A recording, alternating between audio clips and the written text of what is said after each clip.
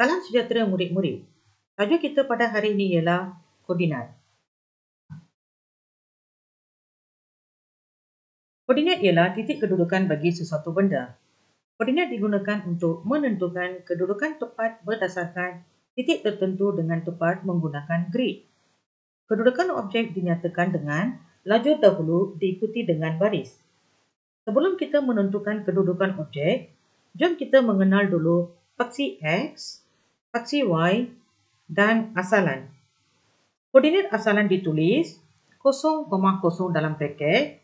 Seterusnya ditulis koordinat di paksi X dahulu diikuti dengan paksi Y. Jom murid-murid, kita lihat satu contoh di mana kita perlu mengenal kedudukan objek di dalam rak hiasan di bilik amin. Kalau anda lihat, Objek pertama iaitu piala. Hmm? Kita lihat di mana tinggalnya letaknya kedudukan objek ini. Okey. Seperti yang saya katakan dulu, paksi X ditulis dahulu diikuti dengan paksi Y. Di mana X adalah A, Y adalah 1. Maka kedudukan bagi piala adalah A1. Ya? Okey. Kita lihat kedudukan bagi bola. Ya? Di mana di paksi X, bola terletak pada A.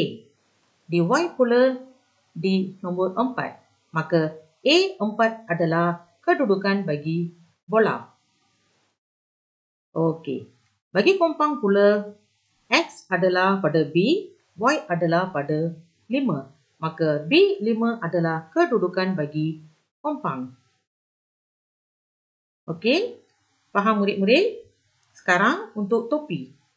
Untuk kedudukan paksi X, topi letak pada C dan untuk kedudukan di paksi Y pula, ia tunjukkan nombor 3.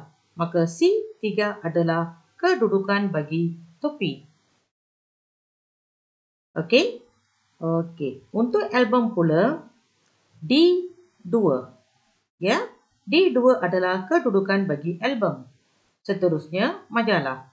Okey, sama juga X menunjukkan D dan Y menunjukkan 5. Maka D5 adalah kedudukan bagi majalah. Ya? Okey. Sekarang untuk bumi. D paksi X adalah E. Paksi Y pula adalah nombor 1.